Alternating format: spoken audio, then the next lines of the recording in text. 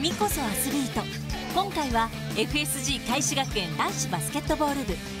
創部5年目の新しいチームですが去年のインターハイ予選では準優勝と県内トップレベルの力を持つチームです。1対1個人の1対1がとても強いので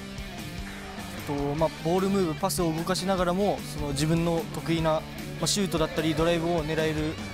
ようなチームです。日々切磋琢磨する選手たち。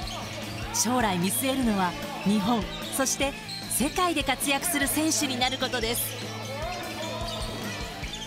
こうプロになるために選手は来ているのでこうモチベーションももちろんすごい高いですしその中で強い個の育成をするのをまず一番の大きな目的としていて、えー、その中でスペシャリストを育成するのではなくってサイズのある選手がドリブルをついてボールプッシュしたり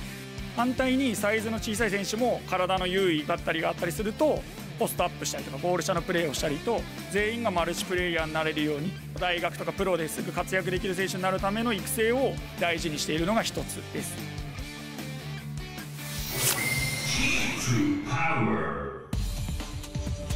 プロを目指す FSG 開志学園の選手たちそんな選手たちを学校全体でサポートしています昼型トレーニングシステムといってこう練習が午後から始められることができるので十分な練習時間がありながら休息の時間もたくさん取れるっていう部分がやっぱりいい部分なのかなと思っています。オフコートの部分でもその食事とかその睡眠の時間とかも他の高校よりは確保できて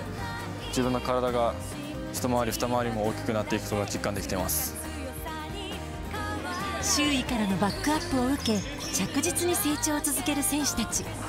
プロという最終目標の前に成し遂げたいことは？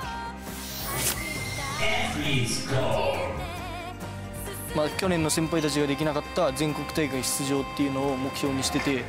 リーマそう頑張っています。全国大会出場するぞ